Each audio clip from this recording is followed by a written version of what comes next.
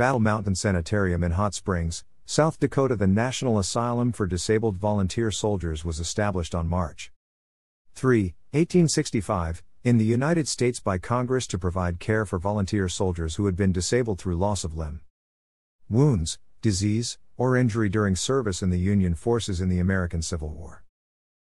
Initially, the asylum, later called the home, was planned to have three branches in the Northeast, in the central area north of the Ohio River, and in what was then considered the Northwest, the present Upper Midwest. The Board of Managers, charged with governance of the home, added seven more branches between 1870 and 1907 as broader eligibility requirements allowed more veterans to apply for admission. The effects of World War I, which resulted in a new veteran population of over 5 million men and women, brought dramatic changes to the national home and all other governmental agencies responsible for veterans' benefits. In 1930, the Veterans Administration was established to consolidate all veterans programs into a single federal agency. The several wars since then in the 20th and 21st centuries have resulted in more veterans needing services. An illustration of the Milwaukee location of the National Home for Disabled Volunteer Soldiers, from the 1885 edition of the Wisconsin Blue Book. The National Home for Disabled Volunteer Soldiers was originally called the National Asylum in the legislation approved by Congress and signed into law by President Abraham Lincoln in March 1865. The term asylum was used in the 19th century for institutions caring for dependent members of society, such as the insane and the poor, who were thought to temporarily suffer from conditions that could be cured or corrected. But, the term had some negative connotations. In January 1873, the Board of Managers gained approval of the name National Home for Disabled Volunteer Soldiers. From the Revolutionary War through the Civil War, the small number of veterans of American wars had three sources of assistance from the federal government. The government offered land grants to veterans as compensation for their service, particularly following the Revolutionary War, when it used the land grant system to develop unsettled territories of the new nation. In 1833, the federal government established the Bureau of Pensions, which made small cash payments to veterans. The low numbers of the veteran population and the more attractive offer of free land kept the pension system relatively small until after the Civil War. In 1811, the United States Navy was authorized by Congress to establish a permanent shelter for its veterans. Construction was started in 1827. The United States Sailors' Home, located in Philadelphia as part of the Navy Yard, was opened in 1833. In 1827, Secretary of War James Barbour suggested a similar institution for the Army, but congressional lack of interest and funding meant such a project was delayed. In 1851, legislation introduced by Jefferson Davis, Senator from Mississippi and former Secretary of War, was enacted by Congress. It appropriated funds for construction of the United States Soldiers' Home.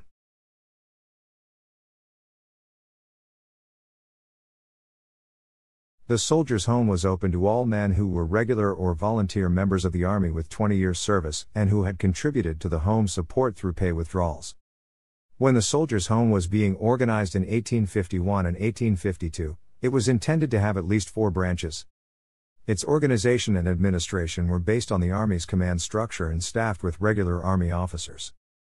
The Soldiers' Home was managed by a board of commissioners, although drawn from Army officers. Each branch had a governor, deputy governor, and secretary treasurer, the members were organized into companies and the daily routine followed the military schedule. All members wore uniforms, and workshops were provided for members wanting or required to work. When the National Asylum for Disabled Volunteer Soldiers was being organized in 1866, the National Soldiers Home assisted the Asylums Board by explaining its regulations and offering suggestions. The Civil War was the first event in the history of the United States considered to be national in the scale of citizen involvement, and in its effects on the daily lives of people communities in both the North and the South. The Civil War was a war of volunteers and draftees, both military and civilian. Very early in the war, it became clear to social leaders in the North that new programs were required to deliver medical care to the wounded beyond what was available through the official military structure. The leading civilian organization was the United States Sanitary Commission. It secured permission from President Lincoln in the summer of 1861 to deliver medical supplies to the battlefront. Build field hospitals staffed with volunteer nurses, and raise funds to support the Commission's programs. As the war continued, civilian leaders began to address the issue of caring for the numerous veterans who would require assistance once the war ended. Members of the Sanitary Commission favored the pension system rather than permanent institutional care for the disabled veteran. The Commission feared that a permanent institution would become a poorhouse for veterans. Other groups favored as strongly the establishment of a soldier's asylum, to ensure provision of quality care. The groups gathered information on European military asylums, particularly the Invalides in Paris.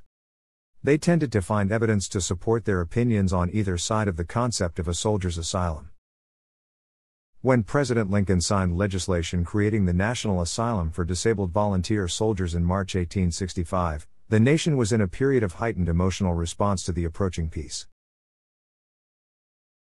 The victory of the Union was seen as the triumph of the nation. The creation of a national institution to serve the veterans was an affirmation of that national victory. When the institution was established, supporters likely had a limited awareness of the potential need among future veterans. But, more than 2 million men served in the Union Army, a third of the white men of military age. If the number of men disabled in service equaled a sixth of the soldiers who died in the war, the number eligible for admission to the National Asylum would have been more than 300,000. It took time for the new institution to be organized, including design and construction of the building. The original corporation could not secure a quorum for a year after being authorized. In March 1866, Congress passed new legislation to replace the 100 member corporation with a 12 member board of managers, a more manageable group. Still, they had to select the sites, arrange supervision of construction projects, and designate local officials while serving as unpaid volunteers of an independent federal agency. The managers of the asylum looked to past models and local efforts to guide the creation of the institution. The Board of Managers of the National Asylum met for the first time in Washington, D.C on May 16, 1866. Their first priority was the selection of sites for the three branches of the national institution, based on geographic distribution. They established criteria for site evaluation a healthy site with fresh air and ample water supply, located 3 to 5 miles from a city, and consisting of a tract of at least 200 acres, connected to the city by a railroad. The board issued a bulletin to newspapers and to governors of the northern states requesting proposals for sites to be donated or sold for use by the branches. Proposals were due before July 12. In addition, the board advertised for plans, specifications, and estimates for the construction of asylum buildings. At the September 1866 board meeting, General Benjamin Butler, the president of the board, proposed the purchase of a bankrupt resort at Togus, Maine, near Augusta, as the eastern branch of the asylum. In regards to a Milwaukee location or a northwestern branch, the board directed that an executive committee visit the city to select a site. Possible locations for a central branch were discussed. At the December 7, 1866 meeting of the board, the executive committee announced its approval of a Milwaukee location. The board directed them to return to Milwaukee to purchase a site and arrange for the construction of asylum buildings, as well as the transfer of veterans currently housed in the Wisconsin Soldiers' Home in Milwaukee operated by the lady managers of the Home Society. At the same meeting, the board approved the purchase of the Togus site. Veterans had already been moved into the former hotel on the site in November 1866.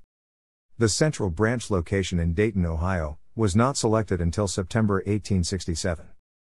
The selection of the sites for the three branches was based on three motivations practical, political, and economic. First, the board needed sites ready to be used immediately before the second winter after the war, and before the time of the November 1866 elections. The Togus site, having been a resort, had a sufficient number of buildings appropriate for housing the disabled veterans. Choosing Dayton as the central branch site satisfied the powerful Ohio faction in Congress, as well as the numerous Union generals from Ohio, particularly William Tecumseh Sherman. Locating the Northwestern branch at Milwaukee resulted in the Board of Managers gaining a large cash donation from the ladies' managers, enabling them both to purchase a site and have funds left to begin construction.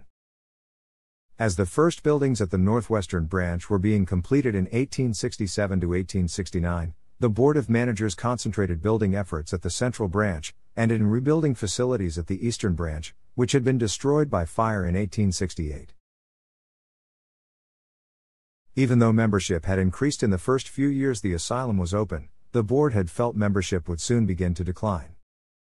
The board based this on the belief that any veteran who needed the asylum had already entered it and that, as members regained their health or learned new work skills, they would leave the asylum. In 1868, the board adopted a resolution that limited the number of branches to the three existing ones.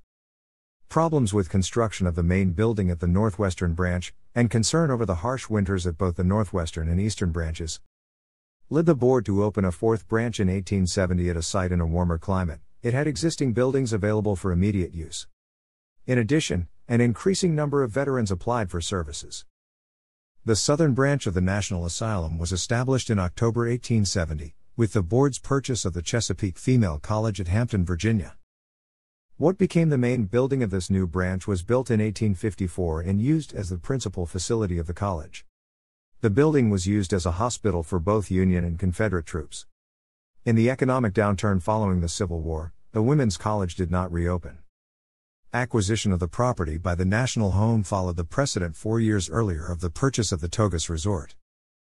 The Southern Branch was founded to provide a facility in a milder climate for the benefit of older veterans, to house Southern black members whom the board believed would be more accustomed to a Southern location. And to be associated with Fort Monroe, adjacent to the new branch site. The federal troops at Fort Monroe and Union veterans at the Southern Branch would establish a strong Union presence near the strategic city of Newport News in the former Confederate state of Virginia.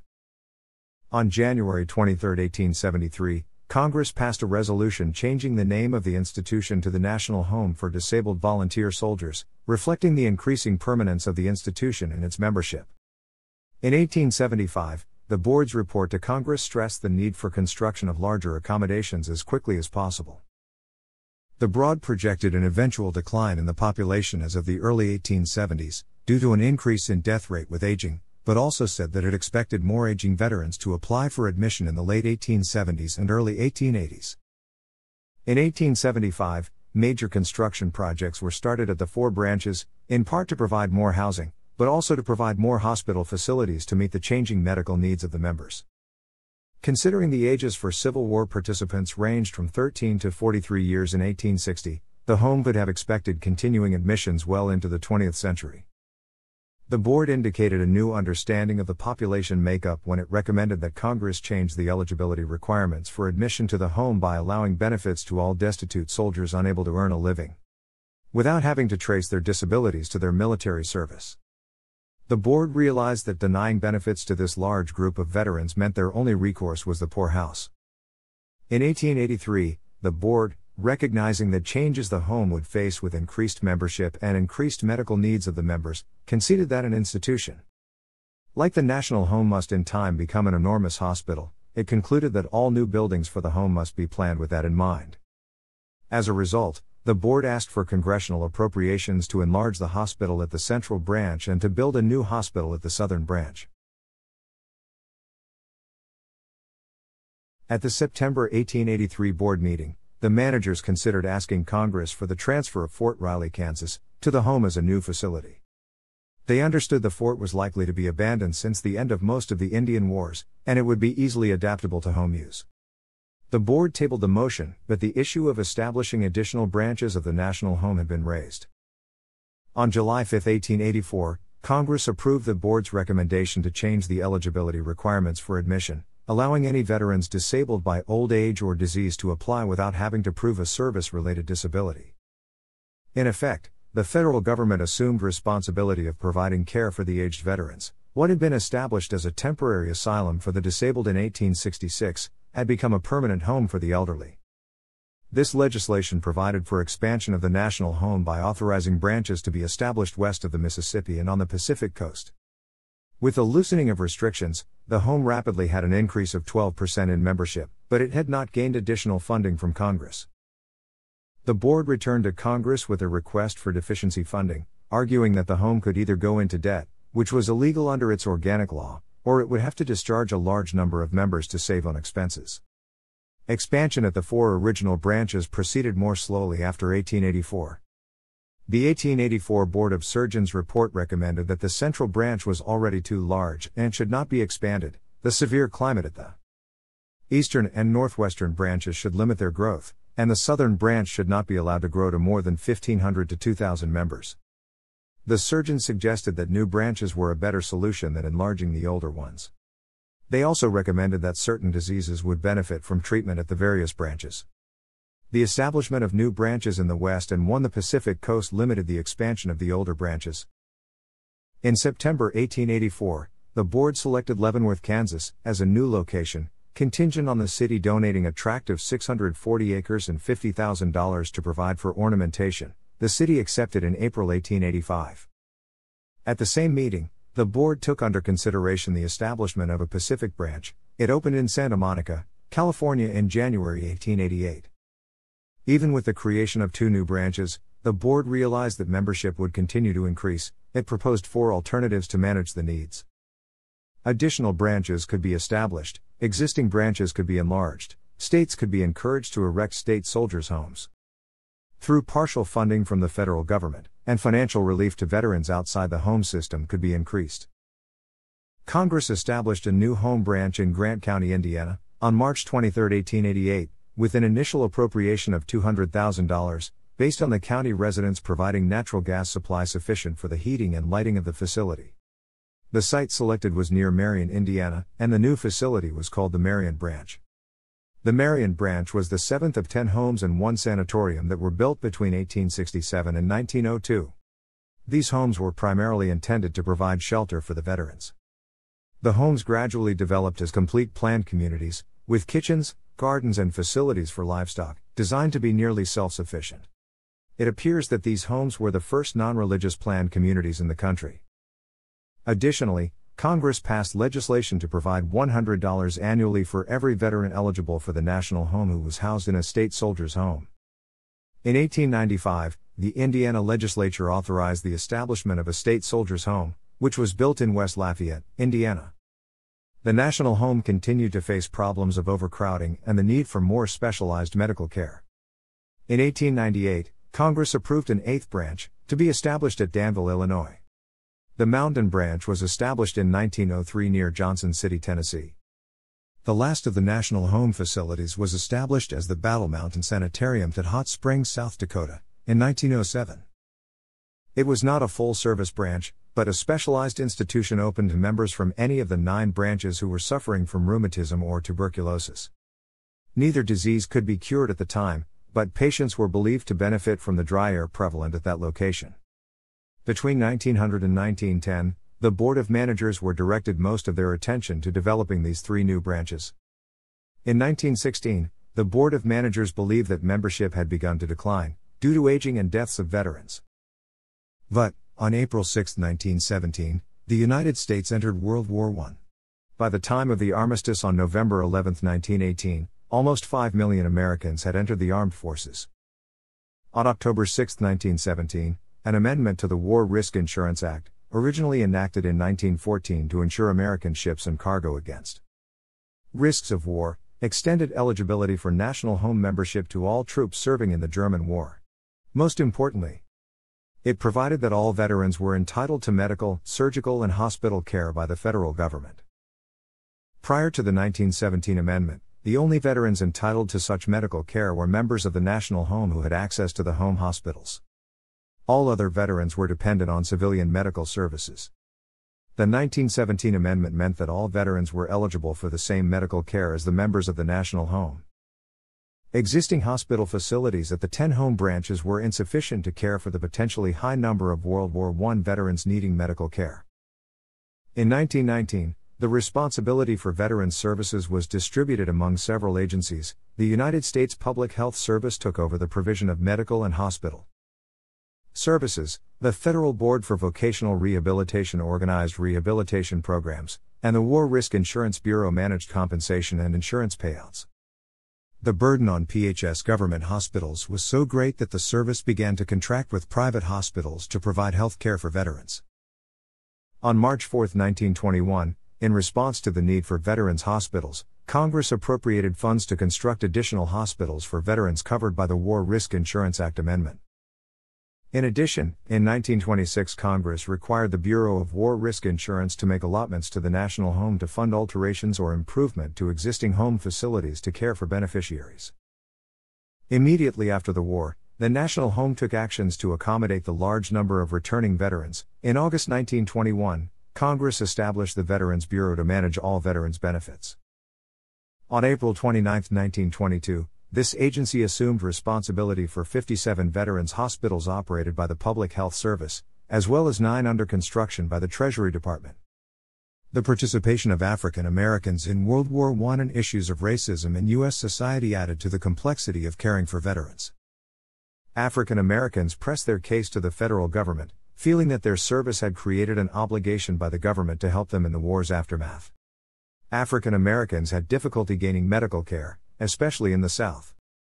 The federal government authorized construction of what was originally called the Tuskegee Home, now the Tuskegee Veterans Administration Medical Center, on land adjacent to Tuskegee Institute in Alabama. Opened in 1923 with 600 beds, it was intended to serve the 300,000 African American veterans in the South. The complex eventually had 27 buildings, and more than 2,300 beds by 1973. By 1926, the board began to see a new trend in veterans' use of the national home. For the most part, the World War I veterans were receiving medical treatment and returning to civilian life, rather than entering the domiciliary program for the home. The board noted that hospital care costs were almost three times the cost of domiciliary care, and it required large capital investments in hospitals, medical equipment, and professional staff. By 1928, the board concluded that it was not capable of managing the national home as a national medical service. In June 1929, the president of the Board of Managers was appointed to the Federal Commission for consideration of government activities dealing with veterans matters. The Commission recommended the founding of the Veterans Administration as a federal agency. On July 21, 1930, the Veterans Bureau, the Bureau of Pensions, and the National Home for Disabled Volunteer Soldiers were consolidated into the Veterans Administration. The National Home was designated the Home Service. In 1933, President Franklin Roosevelt's relief program during the Great Depression put a temporary hold on funding for Veterans Administration construction projects in favor of projects that could quickly put people to work and be completed more rapidly. Two years later, in August 1935, plans were announced for a $20 million building program for the Veterans Administration. Several of the former National Home branches received funding for new medical treatment buildings, domiciliaries, storage buildings, and garages for staff quarters. On December 7, 1941, another war brought a new period of change to the former National Home. More citizens were drafted for military service. To meet the demand for services after World War II, and later the Korean and Vietnam Wars, the former branches of the National Home were expanded and adapted to serve veterans. To ensure high quality development and training for personnel, in the post war years, the Veterans Administration and its hospital officials worked to establish medical residency programs at veterans' hospitals. Accredited through collaboration with local and regional universities. During its life, the National Home for Disabled Volunteer Soldiers was also known officially as the National Military Home and colloquially as the Old Soldiers' Home. The formal organizational name was not changed by statute. But, the mailing address for most branches became National Military Home, in the appropriate city and state. In the early days, the designation of Old Soldier had no bearing on an individual veteran's age. It was used for all veterans. Breakfast meals included ham, sausage, corned beef hash, baked beans with pork, beef fricassee with hominy, potatoes, bread, butterine. Dinners might include string beans, lima beans, dried peas, pickles, pies, roast mutton, soups like vegetable or bean, roast beef and crackers. Supper would be a light fare like stewed dried fruits, watermelons, sugar cookies, tea, fresh berries, cornmeal or rolled oats with syrup, cheese and biscuits. The quantities of food required were enormous, including 2,800 pounds of ham for the Sunday breakfast, or 2,950 pounds of sausage. 1,250 pies were eaten for dinner, 800 pounds of bread at each meal, and so forth. Preparing these meals required 126 cooks, 44 bakers, 18 butchers, 22 bread cutters, along with farm hands, dishwashers, servers, and gardeners. Thanks for watching.